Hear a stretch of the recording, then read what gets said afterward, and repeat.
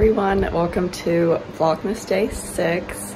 Today I finally have my presentation in class to do, so I'm happy to finally get that over with. And then we also just have a little evaluation for the course, so at least we don't have a actual test in that class, which is good. And then probably for the rest of the day, I'll just be studying for my two tests tomorrow. So that is what the day looks like. Just got done with my class, with the presentation it went well. We got a 100, so that was good. And it feels so nice out today. It feels like spring. So I'm probably going to go head back, do some more studying. That'll be nice if I've studied outside today. We'll see. And then we also just had to do a little written portion too, and that wasn't too bad.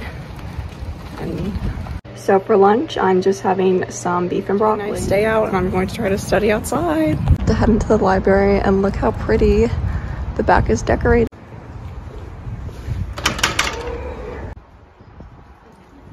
So right now I'm at my favorite study spot outside. This is what it looks like and it is such a nice day out here.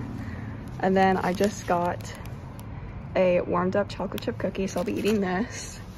And then I also printed out all these pages to study for. I'm going to be studying and enjoying my chocolate chip cookie. So right now it is currently dark outside. And they're playing Christmas songs too, which is fun.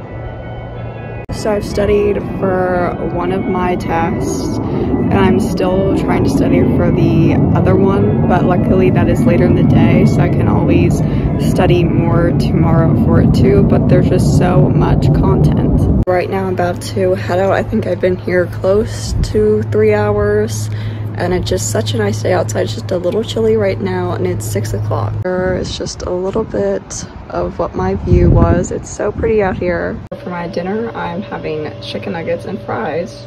So after I had my dinner, I just spent the rest of the night studying and then I also added some tabs in my notebook as well so it was easy to flip through my notes and I think one of the tests shouldn't be too bad but the other one I'm not quite sure about so hopefully both go well and I'll be happy when those two tests are over with and I'll see you guys tomorrow for Vlogmas Day 7. Thank you so much for watching and I'll see you tomorrow. Bye!